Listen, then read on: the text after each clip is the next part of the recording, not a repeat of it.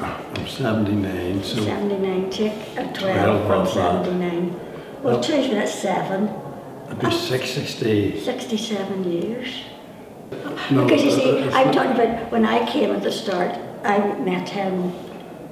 I come to Bangor every year for the month of July as a holiday. Uh huh. And I met him when I was 15 at the bonfire in Clandeboye Place or the Bull Ring. And that's the first I met him. But then um, I went home and that was it. But I came back the next year and when I was 16, that was it. Uh-huh. To now. That's 60 odd. That's amazing. That's so good. Isn't that It's 60, 63. I'm only 78. It's him Ah, yes, 70. I, I'm 79. He's- And I'm 78. And I was 16 too. And he was 16 as well. Well, we're married 57 years uh, this month. Congratulations. Thank you. Massive congratulations. Then Robert Logan came here and about, was it 53 or something? 50? wow. Uh-huh. I think it was 53 he came here and he asked me would I help him or join him. He's thinking of starting a BB up here and he asked would I like to transfer and come up because I knew all the boys about here. Brilliant. And I said that's okay and I would do because I wasn't happy down in Trinity. And uh, I joined the BB here.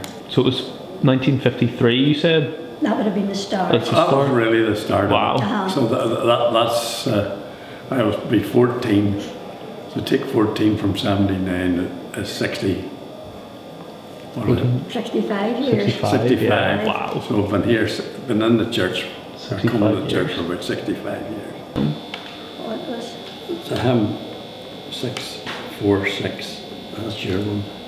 The day Thou gavest Lord is ended.